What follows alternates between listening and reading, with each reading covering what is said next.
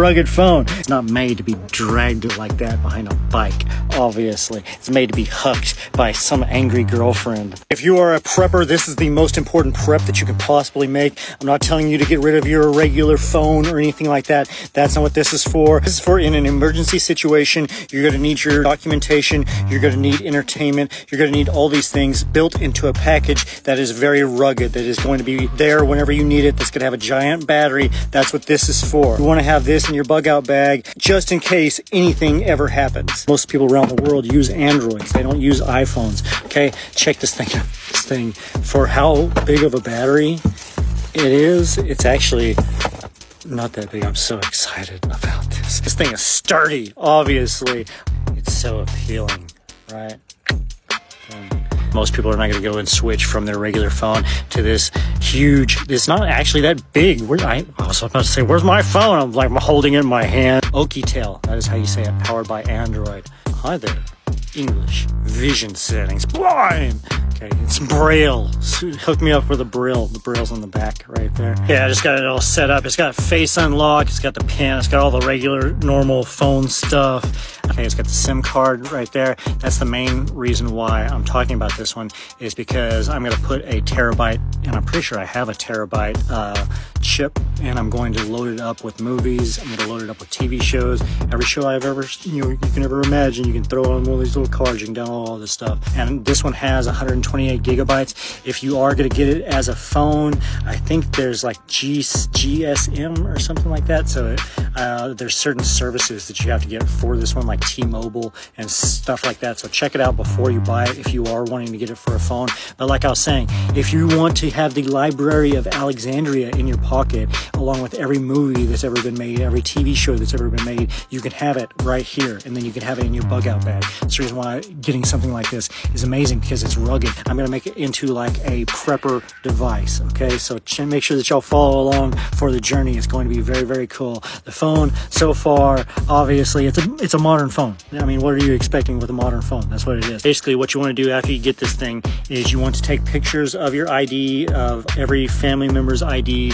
You want to make sure that you take pictures of yourself holding your ID along with your face so that they can see that it's you in the picture, just like you would do if you were verifying for any website or anything like that, any kind of documentation. You want to make sure that you do that so that you have all of this stuff with you in case there is some sort of situation.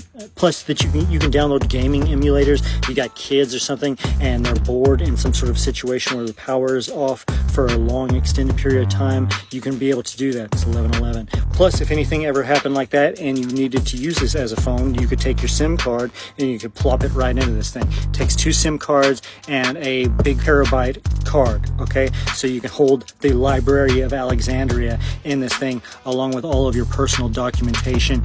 What about all your family photos? You're to be able to take a photo album along with you if you're having to bug out somewhere.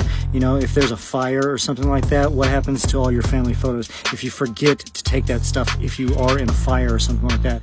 But if you got this thing in a bug out bag in a vehicle or something, these things are made first. First off, they're made for high heat. Okay, they're made for environments like construction workers and stuff like that. So that's what this thing is for. I'm not telling you to switch your phone over, even though you could switch your phone over. Okay, what you're getting with this that for some reason Apple can't give you, you're getting a brick charger Type C, obviously. You're getting a manual, okay? You're getting the actual cable itself right there. You're getting box, which is a cool box, and you're getting the main thing is the phone. I'm gonna tear this house apart. I just found this. I bought it a long time ago. I don't remember. I think it was a nickel. These things are so incredibly cheap now. It's a terabyte. Okay, check this out.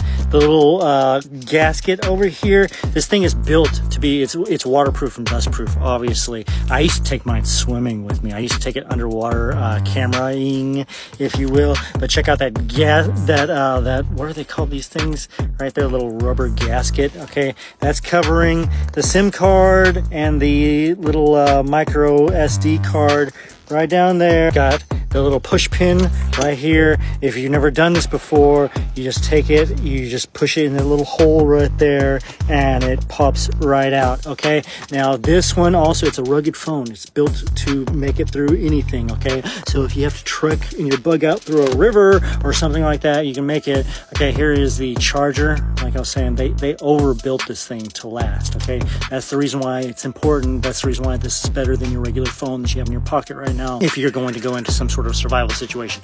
Obviously, if you like hiking and if you like going into outdoors and stuff like that, you can swap your SIM card from your regular phone and you can swap it back and forth just as long as it's compatible with this service for this particular phone right here. And then it is over uh, 10,000 milliamp hours. I think it's like 10,800 milliamp hours or something like that. There's over 10,000 milliamp hour battery life. They have a tiny little notch at the top. That the screen's relatively bright. Flashlight right there. Got a fingerprint reader. Okay, and I believe that this little thing, the on the power button, I believe that that is the fingerprint thing. Mm. It's on the back of your phone. Use your finger. What am I talking about? It's not that. Maybe it's that. I bet you it's that. Hang on. Is that it? That's it. I don't know what I'm talking about, obviously. There we go. That's a much more convenient spot to have it right there. Boom, fingerprint added. Now they got me on a biometric system.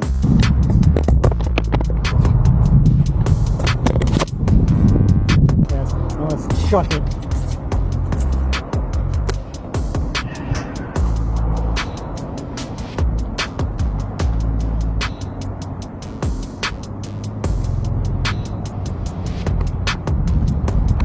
Okay, so the phone is broken. I would definitely not put it through that rugged of a torture test. Obviously, no phone is made to be chucked and dragged behind a bike like that. Obviously, this was an extreme test, put it through extreme elements, just like if you were to be bugging out from any kind of situation. The point is, is that you could do this with any kind of device. If you have an old tablet, if you have an old phone, anything like that, you can do that with. You just want to make sure that you have your documents. You want to make sure that you have all of your stuff. And if you want something that is actually rugged, check this one out right here. Obviously, don't go throwing it. It's not made to be chucked in the middle of a parking lot don't go doing that. But okay, in complete defense of the Oukitel rugged smartphone, this is a completely unrealistic durability test. I'm dragging it behind the bike, obviously. This is not going to ever happen. Anything this rugged where I'm just, it's taking turn after turn after turn.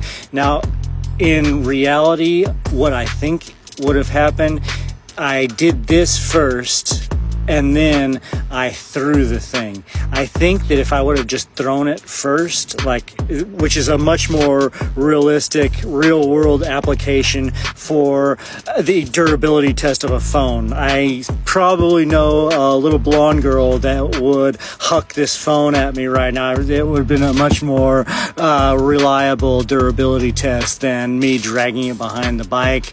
Obviously, hucking it in the parking lot. I think that it would have it would have lasted being hucked through the parking lot but being dragged first it hit so many bumps and whatnot and I think that as you can see right here uh, before it was just cracked right there okay? I had all this footage in here and then it all got deleted off of the application for whatever reason and so I missed all of it. I got all the footage off my 360 camera but then it got deleted off of my regular phone for whatever reason and so anyway it was barely cracked right here before I threw it and then I threw it and then that's when we got this action going on right there. Before it was just fine and still the screen still works. But I think that I think it would have I think it would have just straight survived the throwing test if I wouldn't have dragged it first. So I still think it's a good idea to do this. I mean obviously you could do this if you had an old tablet or if you had an old phone or something like that. The reason why I'm getting something like this is because it's rugged.